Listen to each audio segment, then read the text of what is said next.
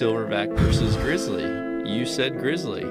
Because grizzlies are even more motherfucking badass than a chimp. A grizzly, a, a, a grizzly can't. Like, there's no way a mm. chimp can outrun a grizzly. There's no way. So a silverback is essentially like a super, a super primate, right? The most super, super primate. Yes.